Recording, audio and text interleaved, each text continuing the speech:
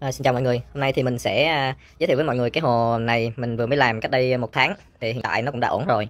Cho nên là mình à, quay một cái à, video ngắn giới thiệu cho mọi người về cái à, hồ mới này của mình. Hồ này thì mình làm ở ngay trong cái góc nhà. Thì ba mình có xây hai cái vách nó còn dưới cái góc này nên ba mình xây hai cái vách lên làm thành một cái hồ cá. Đây là tổng quan của nó nè. À, mình sẽ đi vô chi tiết.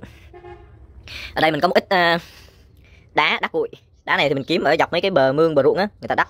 Người ta đào lên thì nó có nên mình mới lấy về mình thả vô đây làm cái chỗ trú đây, ở đây thì có à, rong đuôi trồn nè.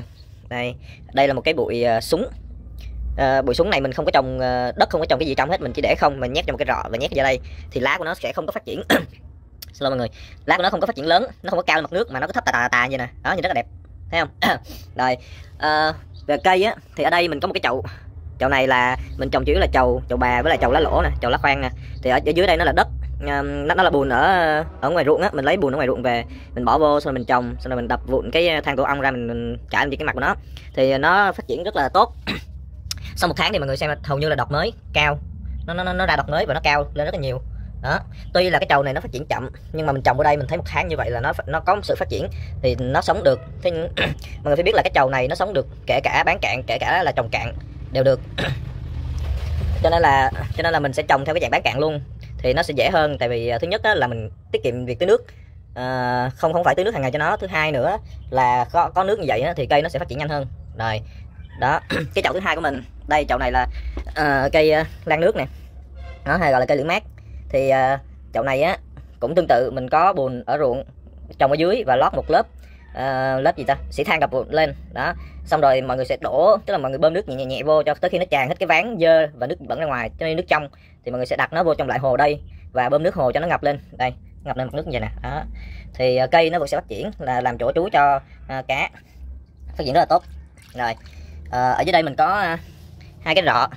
Hai cái rọ dịp tài hồng lá táo và một rọ là cây tiểu bảo tháp. Tiểu tháp ở đây. Đó. Hai cái này thì mình trồng bằng bông lọc bông lọc mà, mà các bạn hay bỏ trong à, ngăn lọc đó bông trắng á cuộn lại nhét vào trong rọ. Đó này mình sẽ lấy lên cho mọi người xem. Đây nè đó và nó ra đẻ nè.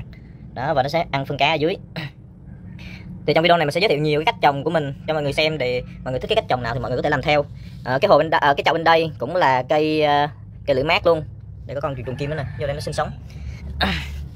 Nhưng mà ở trong cái chậu này á, thì mình lại không có trồng nhiều à, mình không có sử dụng bùn mà chỉ có mỗi Ờ, uh, than tổ ong đập vụn ra thôi và cây nó vẫn phát triển cao lớn bình thường đúng không? Rồi.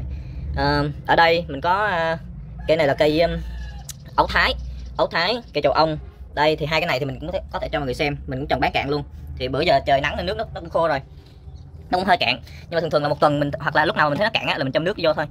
Đó và cái cây này cái cây ấu thái này nó có thể là sống bán cạn như vậy được nha. Và khi mà nó phát triển nhiều á nó phát triển lan ra nhiều ra khỏi cái trọ này á, thì nó sẽ rất là đẹp. Tức là nó bu quanh cái trọ luôn bên đây cũng tương tự. À hai cái chậu. Mấy cái chậu treo này là mình dùng đất đỏ để mình trồng. Đây mình cũng châm nước vô. Cứ châm nước vậy đó.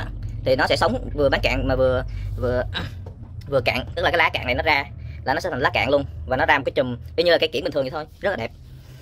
Đây đây nè. Đó dịch hồng lá táo của cái chậu này thì nó ra rồi. Nó ra rồi đó. À. đó. Ra dài. Đó mà nó rất là đẹp. Cây này á, thì nó lại là dịp tài hồng lá hẹp. Nhưng mà bây giờ mình cũng trồng bán cạn luôn thì nó đã ra lá cạn rồi cái cây dịch tài hồng lá hẹp này á, khi mà mọi người trồng bán cạn á, mọi người không thể nào mà cắm vô mà chừa ra lá giống vậy được nha. Tại vì cái lá nước của nó cắm vô mà nó ra ngoài không khí á, là tầm mấy tiếng sau là nó chết hết rồi. Cho nên là mọi người cắm vô, là mọi người phải đổ ngập nước lên, thì nước ngập tới đâu thì cái phần mà thừa ra mình cắt bỏ, thì cái gốc của nó nó sẽ ra lại lá cạn nè. Đây nè. Đó. Rồi, còn, ở trong đây trong đây còn ba cái cây.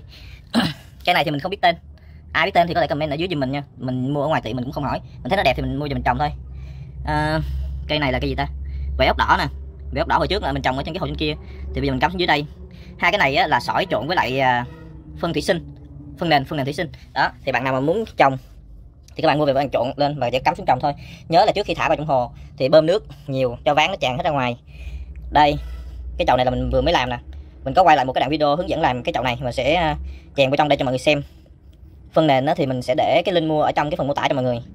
Đó cái chậu này mình mua là 90 ngàn. Đây chậu sành 90 ngàn chậu vuông lớn. Kích thước là khoảng à, 40 40 nhân à, 40 nhân 25 đó là 90 ngàn. Mình mua đáy uh, cao khoảng 10 phân. Ở dưới là đây ở dưới cái đen đen đen á là phân nền thủy sinh. Ở trên là mình trải một lớp sợi mỏng. Mình trồng ở trong đây là có đại à, đại liễu nè dịp hồng lá táo chỉ có hai cái thôi. Đó. Mọi người xem nước nước rất là trong. Đó. Và khi mà mình trồng nhiều cây như vậy á thì mình thấy là cá bảy màu. Rồi những cái dòng cá khác nó đẻ rất là nhiều đây mấy con vàng vàng là cá con nè. Đẻ liên tục tại vì nó có cây để trú ẩn thì nó sẽ cảm giác nó sẽ an toàn hơn có chỗ trú ẩn là nó sẽ đẻ. Rồi ở trong hồ này á nó trốn hết trơn rồi. Trốn hết trơn rồi làm sao quay cho mọi người xem đây? Đây nè đây hoàng kim. Hoàng kim mình trong hồ này mình có hoàng kim hà lan bún đỏ. Đó, với lại các bảy màu bảy màu này là tiger. Đây muốn muốn trốn này. Đây tiger nè. Nó tiger con nè mới đẻ ra mới đẻ lại. À, tiger nè đâu rồi thấy đây. Trong nước dưới đây?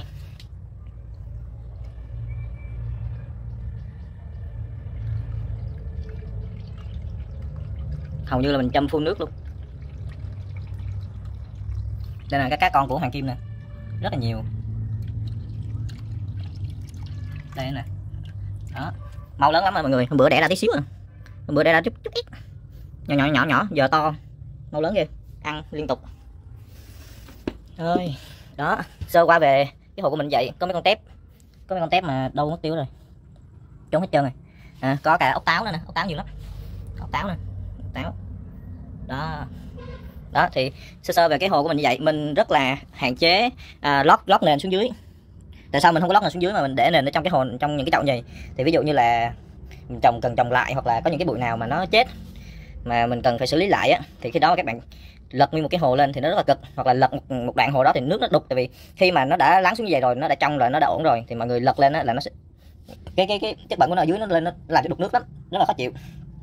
Nên mình trồng riêng vậy. Giả sử như bây giờ mình muốn trồng lại cái cái cái, cái bụi này thì mình bê nguyên cái hồ này lên thì nó sẽ không có bị dơ mà mình xử lý bên ngoài trước rồi mình thả vô. Đó vậy nó sẽ ổn hơn. Nói chung mà mình kiểm soát được.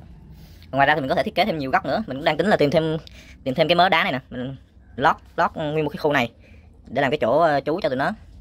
Đây là cái con của muốn nè muốn đỏ đó. Đó rồi.